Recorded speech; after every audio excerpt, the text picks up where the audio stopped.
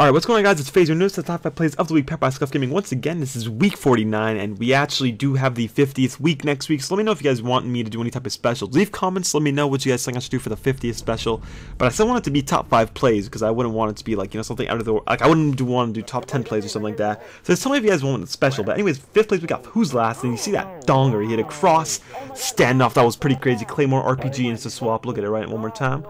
The boy who's last across the map on standoff sees him, instantly goes for the shot. There you go, beautiful shot. Nice green camo.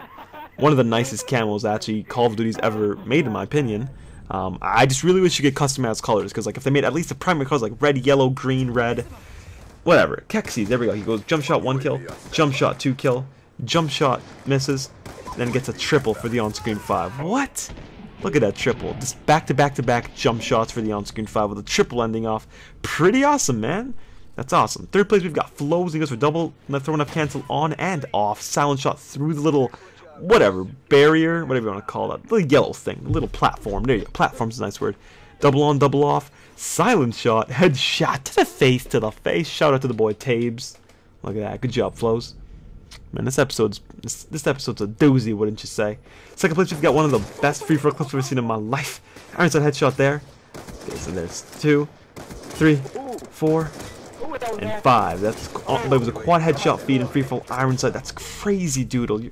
He's actually one of the best free-for-all players in one of my in my opinion. And then first place, we've got Turtles over with another free-for-all kill cam. He hit Marcus a shot right there, and then on the same guy he hits it. So he literally tagged him. He, so I'm telling you, tagging. He tagged him with a trick shot, then he hit the trick shot. Like how crazy is that? Like that's just retarded turtles. Like that's like a once in a lifetime clip in my opinion. You know, like that doesn't happen. That is I know Detour. Like who plays Detour, man? That was crazy, turtles. Good job, buddy. That was crazy.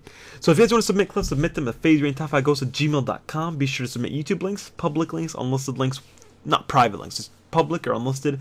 Uh, it can be multi-COD. Any Call of Duty is fine. No setup clips because, you know, if it's setup, I can't really be using it. So make sure it's a legitimate multi-COD clip and send me a YouTube link and to the email, not in my YouTube inbox. So if you guys did miss my previous two videos, my favorite free-for-all clip or my old chair luck, uploaded that yesterday. Be sure to check those out.